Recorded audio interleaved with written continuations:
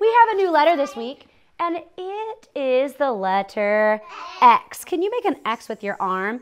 One diagonal arm, and then take your other arm, diagonal line. What letter is that? X. And what's X sound?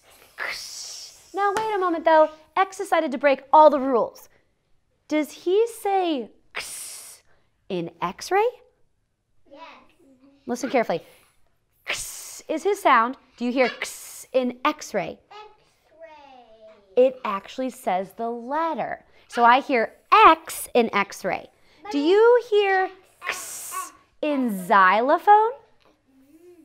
I hear Z. But remember, I told you the other day, and let's review this, that X makes its X sound at the end of words.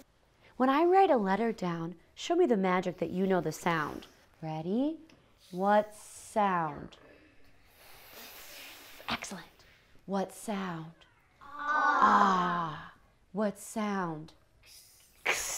Now, oh, I know you know it. You, but don't give the surprise yet. Hide it in your brain. Cover it. Watch. Wait for my dots. Wait for my dots. Sound. Read. Fox. Where's the X? At the beginning, middle, or end? End. The X is at the end. Now, what about this one? Sound. B. Sound. Ah. Sound. Whoa, whoa, whoa, whoa. Oh my gosh, you're readers, you're readers. But wait, do it together. Ready? B. Ah.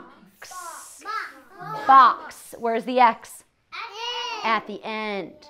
I have one more word to share with you that this time it changes the middle sound. So we had F and B as our beginning sounds, our initial sound. O was our middle, X was at the end, and X got to say his sound. Now, here's another one. And when my friends go to kindergarten, they will turn this age. What sound? S. Oh, it's the letter S, but what's the sound? S, crisscross. Ready? What sound? I. What sound? Now do the sounds. Ix. Six. How old will you be in kindergarten?